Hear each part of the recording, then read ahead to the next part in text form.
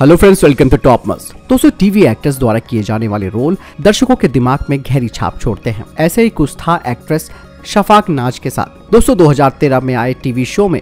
दोस्तों 2013 में TV show Mahabharat में शफक ने कुंती माता का रोल प्ले किया था। इस रोल को उन्होंने बखूबी निभाया और एक्ट्रेस ने अपनी बेहतरीन परफॉर्मेंस से फैंस का दिल जीत लिया था। इस किरदार की वजह से लोग उन्हें स्क्रीन अवतार से अलग देखने को तैयार नहीं थे। 2013 में आए महाभारत में सभी कलाकारों ने उम्दा एक्टिंग की थी। शो के सभी किरदार शानदार थे। आपको बता दें कि एक्ट्रेस शफक नाज रियल लाइफ से अलग रियल लाइफ में बेहद ग्लैमरस और बोल्ड है। शफक नाज सोशल मीडिया पर काफ़ी एक्टिव रहती हैं और आए दिन अपनी ग्लैमरस तस्वीरों को शेयर करती है।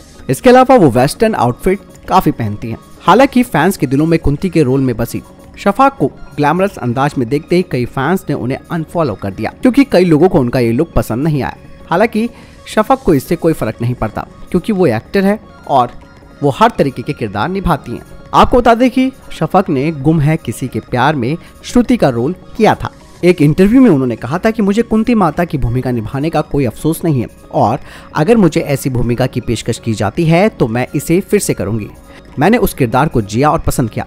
मेरी शिकायत सिर्फ़ ये है कि लोगों को पता होना चाहिए कि ये एक ऐसा किरदार था जिसे मैंने निभाया था। उन्हें बतौर एक्टर मेरी रियल लाइफ को भी नहीं भूलना चाहिए।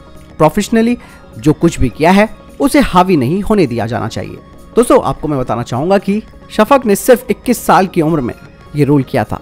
लेकिन वेस्टर्न कपड़ों में उनको देखकर फैंस ने तो उन्हें यहाँ तक लिख दिया कि कुंती माता, आपने ये क्या पहना है? ये कपड़े आप पर नहीं जसते हैं। तो दोस्तों, आपको शफक कैसी लगी? कमेंट सेक्शन में लिखकर ज़रूर बताइएगा। साथ ही टीवी सीरियल महाभारत के लिए वीडियो को लाइक ज़रूर कीजिएगा। मिलने वीडियो के साथ। Stay good bye